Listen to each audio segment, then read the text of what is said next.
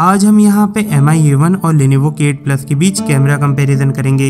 दोनों में ही आपको डुअल कैमरा सेटअप मिलेगा। अगर एम आई की बात करें, यहाँ आपको 12 एम का डुअल कैमरा सेटअप मिलेगा, जिसमें प्राइमरी लेंस वाइड एंगल होगा और सेकेंडरी लेंस टेलीफोटो लेंस होगा, जो कि टू एक्स ऑप्टिकल जूम करके आपको दे सकता है। और अगर यहाँ Lenovo K8 Plus की बात करें तो यहाँ आपको 13 प्लस फाइव एम का डुअल कैमरा सेटअप मिलेगा।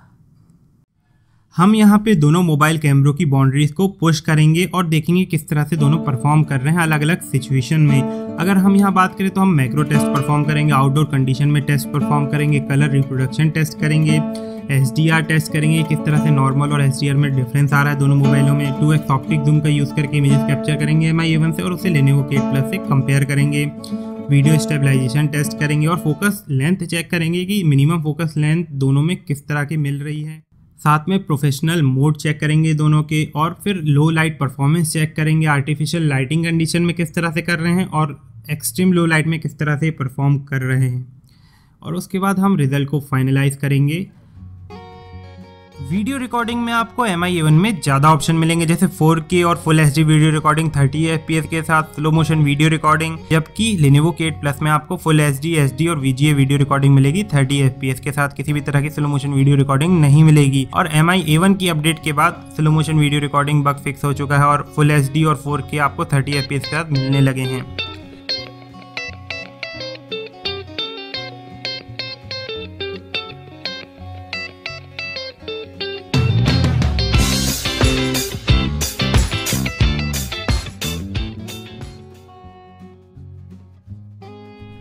अगर हम अपनी फ़र्स्ट इमेज की बात करें तो आप देख सकते हैं लेनेवो ने बहुत अच्छी इमेज कैप्चर करी एक परफेक्ट मैक्रो शॉट यहाँ लग रहा है अपने प्राइमरी कैमरे से।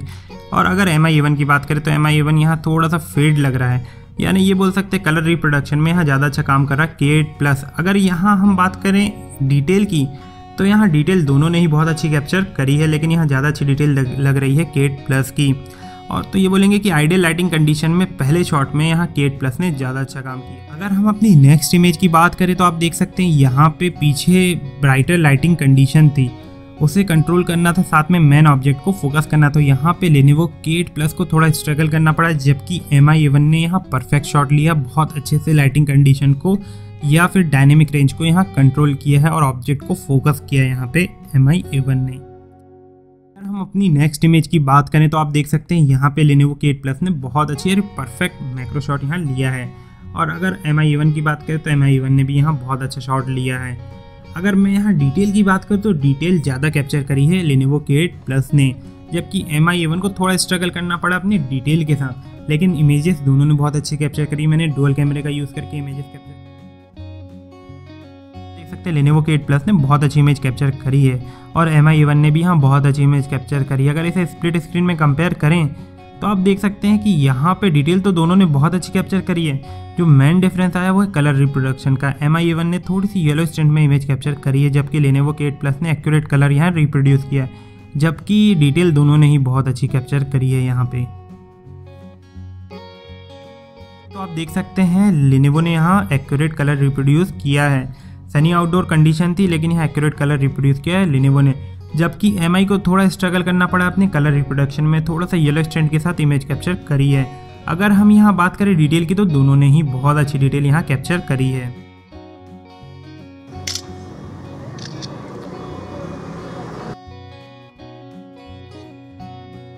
इसके बाद अगर हम अपनी नेक्स्ट इमेज की बात करें तो आप देख सकते हैं यहाँ दोनों ने ही बहुत अच्छी डिटेल कैप्चर करी है लेनेवो और एम आई इवन ने।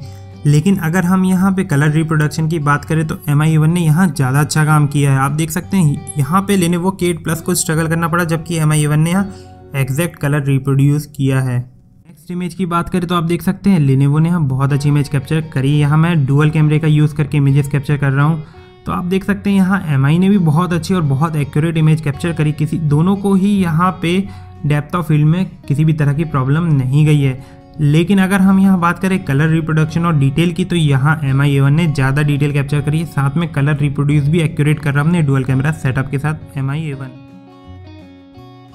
करें तो लिनिवो के एट प्लस ने बहुत अच्छी इमेज कैप्चर करी, एक perfect depth of field create करी है यहाँ पे। जबकि अगर मैं यहाँ एम आई की बात करूँ तो एम आई ने भी यहाँ बहुत अच्छे से इमेज कैप्चर करी है।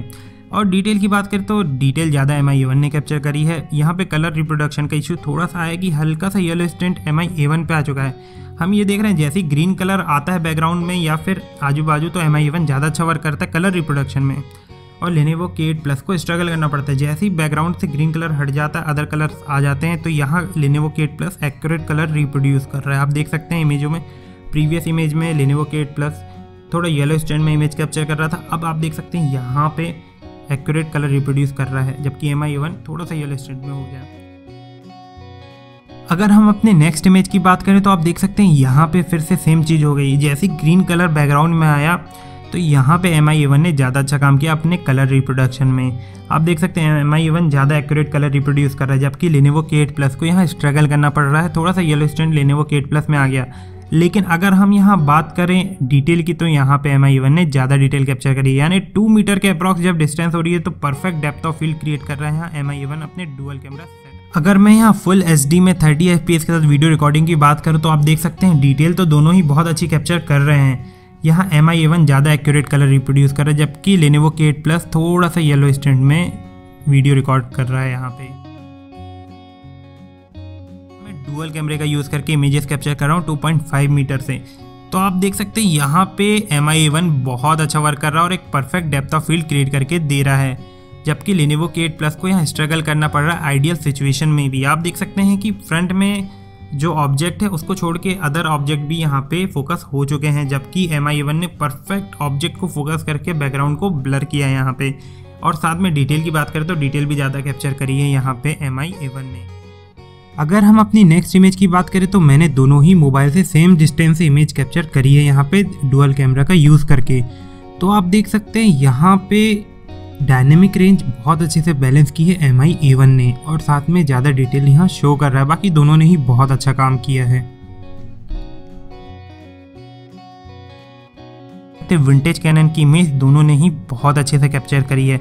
अगर कलर रिप्रोडक्शन की बात करें तो दोनों ने ही एक्यूरेट कलर रिप्रोड्यूस किया, ज़्यादा डिफरेंस यहाँ नहीं दिख रहा है। साथ में डिटेल भी दोनों ने ही बहुत अच्छी कैप्चर करी है यहाँ पे। अगर हम अपने नेक्स्ट इमेज की बात करें तो यहाँ मैं डुअल कैमरे का यूज़ करके इमेजेस कैप्चर कर रहा हूँ टू मीटर से।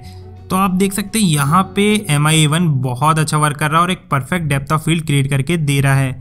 जबकि लेनेवो के एट प्लस को यहाँ स्ट्रगल करना पड़ रहा है आइडियल सिचुएशन में भी। अगर हम अपने नेक्स्ट इमेज की बात करें तो यहाँ दोनों ने ही बहुत अच्छा काम किया है। थोड़ी सी बैलेंस डायनेमिक रेंज यहाँ पे एम आई ने रखी है, साथ में थोड़ा एक्यूरेट कलर रिप्रोड्यूस किया है। लेकिन मैं ये बोलूँगा कि यहाँ दोनों ने ही बहुत अच्छा काम किया है। डिटेल दोनों ने ही बहुत अच्छी कैप्चर करी और कलर रिप्रोडक्शन दोनों का लगभग एक सिमिलर है। नेक्स्ट इमेज की बात करें तो यहाँ पे लेनेवो के एट प्लस ने बहुत अच्छी इमेज कैप्चर करी डिटेल भी बहुत अच्छे से कैप्चर करी, साथ में कलर रिप्रोड्यूस भी एक्यूरेट रखा है यहाँ पे। और अगर हम यहाँ एम आई की बात करें तो एम आई ने भी यहाँ बहुत अच्छे से कलर रिप्रोड्यूस किया है। थोड़ा सा येलो स्टेंट आया है डिटेल दोनों ने ही बहुत अच्छी कैप्चर करी है। आप स्प्लिट स्क्रीन पर देख सकते हैं। अगर हम अपने नेक्स्ट इमेज की बात करें तो आप देख सकते हैं, यहाँ पे लेनेवो के एट प्लस ने बहुत अच्छे से इमेज कैप्चर करी है, लेकिन डेप्थ ऑफ़ फ़ील्ड में उसे स्ट्रगल करना पड़ा क्योंकि मैंने डुअल कैमरे का यूज़ करके इमेज कैप्चर करी है। कलर रिप्रोड्यूस बहुत एक्यूरेट किया है। अगर हम एम आई की बात करें तो यहाँ पे थोड़ा सा येलो स्टेंट में इमेज ज़रूर कैप्चर करी है, लेकिन depth of field perfect create करा है यहाँ पे एम आई ने।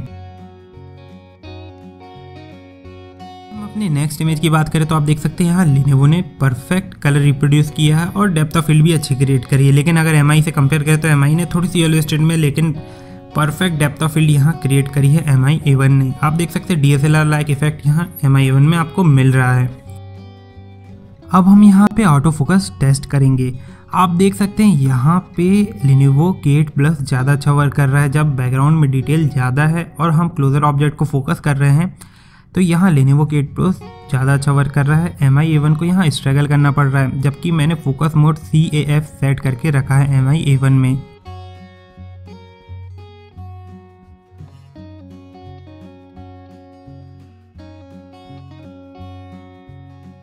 अगर हम यहाँ बात करें जूम करके भी अगर मैं यहाँ ऑब्जेक्ट को फोकस करने की कोशिश करूँ तो एम आई एवन को स्ट्रगल करना पड़ रहा है, लेकिन लेनेवो केट प्लस बहुत अच्छे से ऑब्जेक्ट को यहाँ फोकस कर रहा है। अब हम यहाँ पे एक्सपोजर कंट्रोल टेस्ट परफॉर्म करेंगे। यानी जब बैकग्राउंड में ब्राइटर सिचुएशन आ जाती है तो किस तरह से मोबाइल मेन ऑब्जेक्ट को फोकस करके सिचुएशन को मेंटेन करते हैं, या बोले डायनेमिक रेंज किस तरह से बैलेंस करते हैं। तो अगर हम अपनी फ़र्स्ट इमेज की बात करें तो आप देख सकते हैं लिनिवो के एट प्लस ने बहुत अच्छे से काम किया है। एक्यूरेट कलर रिप्रोड्यूस किया है और बैलेंस डायनेमिक रेंज है। जबकि एम आई को थोड़ा स्ट्रगल करना पड़ा अपने डायनेमिक रेंज के साथ। आप देख सकते हैं, जो मेन ऑब्जेक्ट है, उसको थोड़ा डार्क कर दिया यहाँ पे एम आई ने। वो के एट प्लस ने अपने डुअल कैमरा के साथ बहुत अच्छी इमेज कैप्चर करी है।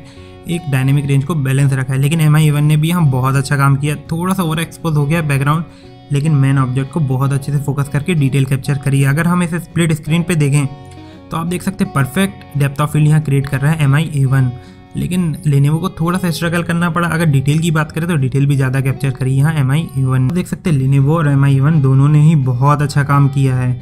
लेकिन अगर हम एक्सपोजर कंट्रोल की बात करें तो यहाँ दोनों ने बहुत अच्छे से डिटेल कैप्चर करी अपने प्राइमरी कैमरे से। अगर नेक्स्ट इमेज की बात करें तो आप देख सकते हैं लेनेवो के एट प्लस ने बहुत अच्छी इमेज कैप्चर करी है। आप देख सकते हैं मेन ऑब्जेक्ट का कलर रिप्रोडक्शन डिटेल बहुत अच्छी रही है। और अगर एम आई की बात करें तो थोड़े से येलो स्टैंड के साथ एम आई ने भी बहुत अच्छा काम किया डिटेल बहुत अच्छी कैप्चर करी है। और अगर डायनेमिक रेंज की बात करें तो आप देख सकते हैं यहाँ पे एम आई ने ज़्यादा अच्छा काम किया है। एक बैलेंस डायनेमिक रेंज यहाँ कैप्चर करी, जबकि लेनिवो केट प्लस ने बैकग्राउंड को ओवर एक्सपोज कर दिया यहाँ। आप देख सकते हैं लिनेवो के एट प्लस ने बहुत अच्छा काम किया एक्यूरेट कलर रिप्रोड्यूस किया बैलेंस डायनेमिक रेंज रखी है, साथ में डिटेल भी बहुत अच्छे से कैप्चर करी है। जबकि एम आई ए वन को यहाँ स्ट्रगल करना पड़ा अपने प्राइमरी कैमरे के साथ। आप देख सकते हैं, थोड़ा सा येलो स्टैंड में एम आई ए वन है, साथ में डिटेल भी उतनी अच्छी कैप्चर नहीं कर पाया है। लेकिन अगर हम 2x ऑप्टिक जूम का यूज़ करके इमेज कैप्चर करें तो आप देख सकते हैं यहाँ बहुत अच्छी डिटेल कैप्चर करा है एम आई ने। और इसे कंपेयर करें लेने वो के प्लस की इमेज से तो आप देख सकते हैं, यहाँ पे ज़्यादा डिफरेंस नहीं दिख रहा है। कलर रिप्रोडक्शन ज़्यादा अच्छा है, यहाँ लेने वो के प्लस का है। लेकिन अगर डिटेल की बात करें डिटेल दोनों ने ही बहुत अच्छी कैप्चर करी, जब मैंने एम आई के टू एक्स ऑप्टिक जूम का यूज़ करके इमेज कैप्चर करी है। देखते हैं लेनेवो के एट प्लस ने बहुत अच्छा काम किया एक्यूरेट कलर रिप्रोड्यूस किया बैलेंस डायनेमिक रेंज रखी है, साथ में डिटेल भी बहुत अच्छे से कैप्चर करी है। जबकि एम आई को यहाँ स्ट्रगल करना पड़ा अपने प्राइमरी कैमरे के साथ। आप देख सकते हैं थोड़ा सा येलो स्टेंट में एम आई है, साथ में डिटेल भी उतनी अच्छी कैप्चर नहीं कर पाया है। लेकिन अगर हम 2x ऑप्टिक जूम का यूज़ करके इमेज कैप्चर करें तो आप देख सकते हैं, यहाँ बहुत अच्छी डिटेल कैप्चर करा है एम आई ने। और इसे कंपेयर करें लेने वो के प्लस की इमेज से तो आप देख सकते हैं, यहाँ पे ज़्यादा डिफरेंस नहीं दिख रहा है। कलर रिप्रोडक्शन ज़्यादा अच्छा है, यहाँ लेने वो के प्लस का है।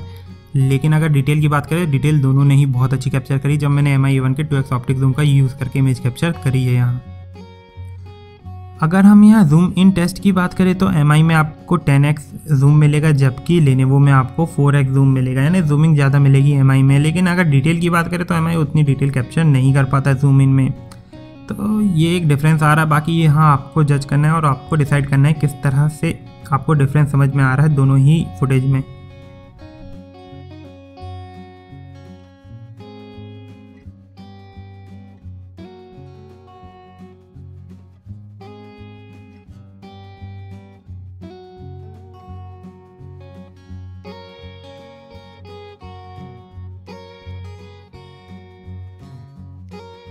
अब हम यहाँ पे एच मोड कंपेयर करेंगे दोनों ही मोबाइल का। आप देख सकते हैं, पहले मैं नॉर्मल इमेजेस कैप्चर कर रहा हूँ, फिर एच और उसके बाद हम दोनों को कंपेयर करेंगे। तो आप देख सकते हैं, यहाँ पे लेनेवो के एट प्लस ज़्यादा अच्छा वर्क कर रहा है अपने नॉर्मल इमेज में। यानी ज़्यादा डिटेल कैप्चर कर रहा है एक्यूरेट कलर रिप्रोड्यूस कर रहा है और अगर हम यहाँ बात करें एच मोड की तो आप देख सकते हैं, यहाँ पे भी लेनेवो ज़्यादा अच्छा काम कर रहा है। अब हम डुअल कैमरे का यूज़ करके इमेज कैप्चर करेंगे, फिर एच मोड में इमेज कैप्चर करके कंपेयर करेंगे। तो आप देख सकते हैं, अगर मैं डुअल कैमरे की इमेज बताऊँ या डेप्थ ऑफ़ फ़ील्ड की तो यहाँ एम आई बहुत अच्छा काम कर रहा है डिटेल भी बहुत अच्छे से कैप्चर कर रहा है और लिनेवो केट प्लस भी बहुत अच्छा काम कर रहा है। जो थोड़ा सा डिफरेंस है, वो कलर रिप्रोडक्शन में ओवर सेचुरेटेड कलर रिप्रोड्यूस कर रहा है एम आई जबकि लेनेवो के प्लस एक्यूरेट कलर रिप्रोड्यूस कर रहा है यहाँ पे अपने डुअल कैमरा के साथ। अगर मैं यहाँ एस मोड की बात करूँ तो आप देख सकते हैं यहाँ पे लेने वो ओवर एक्सपोज हो गया, जबकि एम आई ने थोड़ा कंट्रोल करके रखा यानी ये बोल सकते हैं कि एम आई ने ज़्यादा अच्छा काम किया एस मोड में।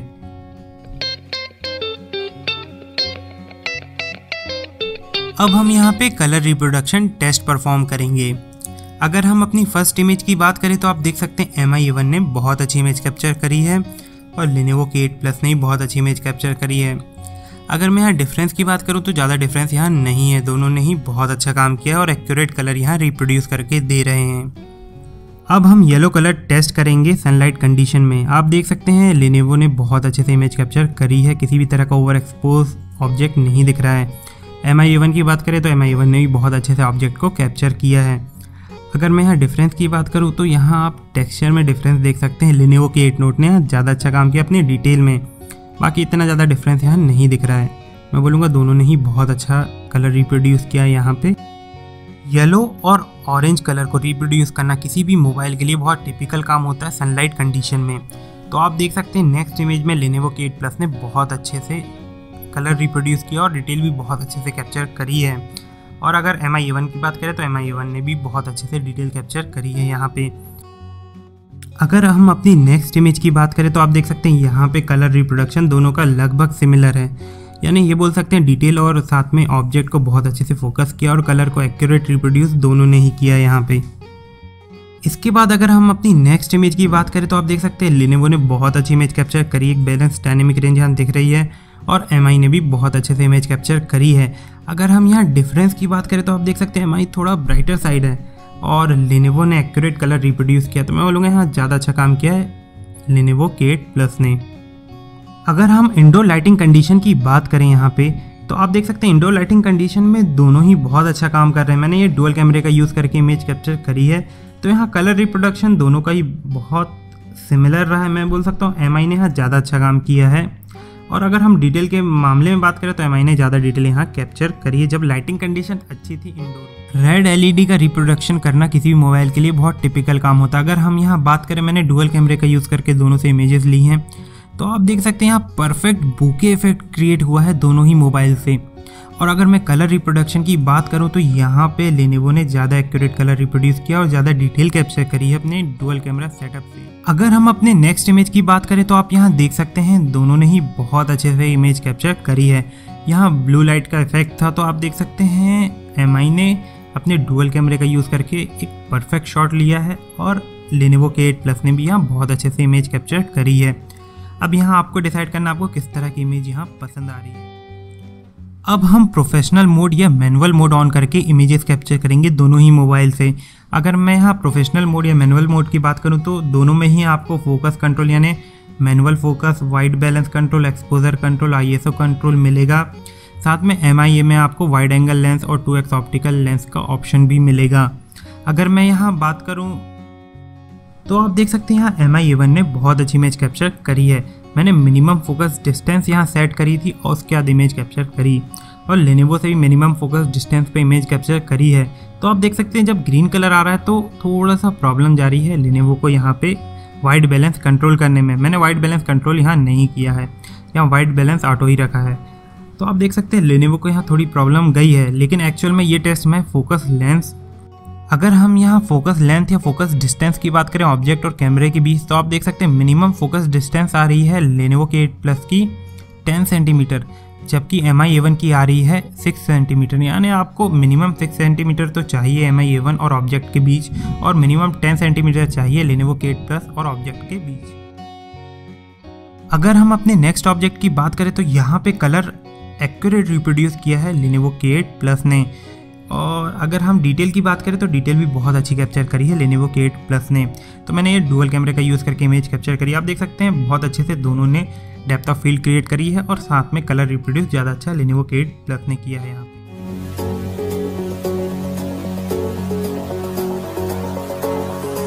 अब हम यहाँ पे लो लाइट परफॉर्मेंस टेस्ट करेंगे। तो आप देख सकते हैं, अगर मैं अपनी फ़र्स्ट इमेज की बात करूँ लेनेवो ने बहुत अच्छी इमेज कैप्चर करी है। और MI की बात करूँ एम ने भी बहुत अच्छी इमेज कैप्चर करी अगर हम यहाँ डिटेल की बात करें तो लेनेवो ने ज़्यादा डिटेल कैप्चर करी, जबकि MI को स्ट्रगल करना पड़ा है नॉइस के साथ। मैं अपनी नेक्स्ट इमेज की बात करूँ, जब मैंने एच मोड ऑन करके इमेज कैप्चर करी है तो यहाँ पे आप देख सकते हैं डिटेल तो दोनों ने अच्छी कैप्चर करी, लेकिन थोड़ा ओवर एक्सपोज हो गया है मैन ऑब्जेक्ट यहाँ पे एम का, जबकि लेनेवो ने बहुत अच्छे से कैप्चर किया है मैन ऑब्जेक्ट की डिटेल यहाँ पे। अगर हम अपने नेक्स्ट ऑब्जेक्ट की बात करें, यहाँ मैंने फ्लैश का यूज़ करके इमेज कैप्चर करी प्राइमरी कैमरे से। तो आप देख सकते हैं, यहाँ पे लेनेवो के एट प्लस की इमेज कुछ ज़्यादा ही येलोइश हो गई है, जबकि एम आई ने एक नेचुरल कलर बैलेंस रखा है। तो मैं ये बोल सकता हूँ एम आई ने यहाँ ज़्यादा अच्छा काम किया है फ्लैश का यूज़ करके। अगर मैं यहाँ इंडो लाइटिंग कंडीशन की बात करूँ, जब एक्सट्रीम लो लाइट कंडीशन तो नहीं थी, लेकिन लाइटिंग कंडीशन लो थी। तो आप देख सकते हैं, यहाँ पे लेनेवो ने ज़्यादा अच्छा काम किया अपने डुअल कैमरा सेटअप के साथ, जबकि एमआई को थोड़ा स्ट्रगल करना पड़ा है इमेज की डिटेल कैप्चर करने में। तो मैं ये बोल सकता हूँ, यहाँ पे ज़्यादा अच्छा काम किया लेनेवो के एट प्लस ने। अब हम यहाँ पे फ्रंट कैमरा टेस्ट परफॉर्म करेंगे। अगर मैं यहाँ स्पेसिफिकेशंस की बात करूँ तो लेनेवो के प्लस में आपको एट एम का फ्रंट कैमरा मिलेगा और एम आई में आपको फाइव एम का फ्रंट कैमरा मिलेगा।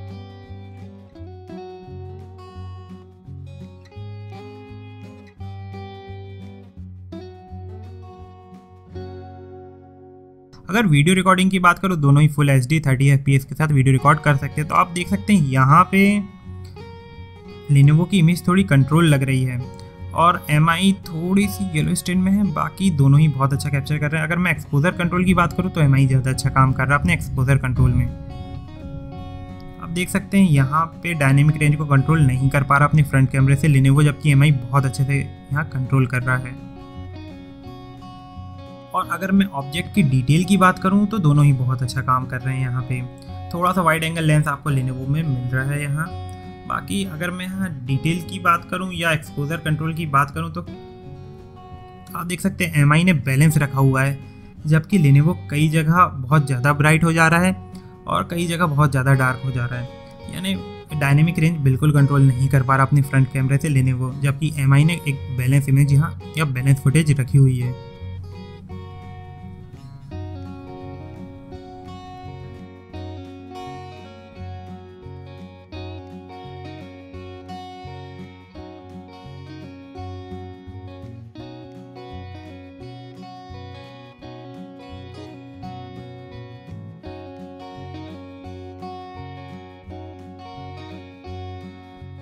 अगर मैं यहाँ फ्रंट कैमरे की इमेजेस की बात करूँ तो आप देख सकते हैं यहाँ पे लेनेवो की इमेज थोड़ी ओवर शार्प है, साथ में बैकग्राउंड ओवर एक्सपोज हो गया है। जबकि MI ने यहाँ बैलेंस इमेज कैप्चर करी है।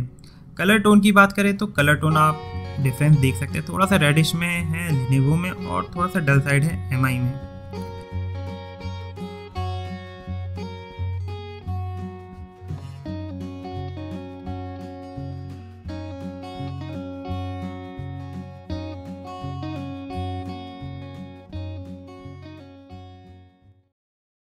अब हम यहाँ पे स्टेबिलिटी टेस्ट कर रहे हैं दोनों ही मोबाइल से। आप देख सकते हैं कि थोड़ा सा विंड प्रेशर यहाँ पे है, यानी विंड नॉइस यहाँ पे आ सकती है दोनों ही मोबाइल के माइक में। हम यहाँ पे स्टेबिलिटी टेस्ट कर रहे हैं दोनों ही मोबाइल से। आप देख सकते हैं कि थोड़ा सा विंड प्रेशर यहाँ पे है, यानी विंड नॉइस यहाँ पे आ सकती है दोनों ही मोबाइल के माइक में।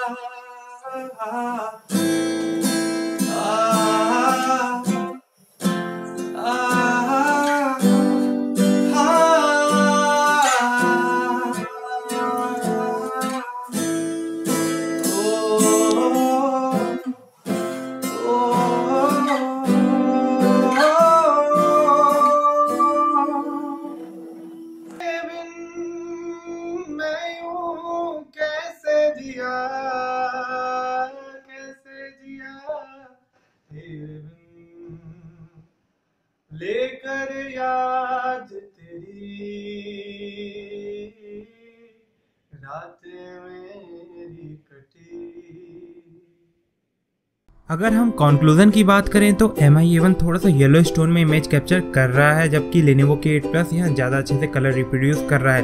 और जस्ट इसका उल्टा हो जा रहा है, जब ग्रीन कलर से सराउंडेड ऑब्जेक्ट मिल रहा है तो वहाँ पे एम आई एवन ज़्यादा एक्यूरेट कलर रिप्रोड्यूस कर रहा है, जबकि लेनेवो के एट प्लस थोड़ा सा येलो स्टेंट में आ जा रहा है। और अगर हम यहाँ बात करें डेप्थ ऑफ़ फ़ील्ड की तो डेप्थ ऑफ़ फ़ील्ड में एम आई वन बहुत अच्छा परफॉर्म कर रहा है और ज़्यादा एक्यूरेट डेप्थ ऑफ़ फ़ील्ड या D S L R like effect यहाँ प्रोड्यूस कर रहा है, जबकि लेनेवो को थोड़ी सा स्ट्रगल करना पड़ रहा है डेप्थ ऑफ़ फ़ील्ड के साथ। इसके बाद अगर हम बात करें वीडियो की तो ऑटो फोकस में यहाँ प्रॉब्लम जा रही है एम आई एवन को, जबकि लेनेवो बहुत अच्छे से वर्क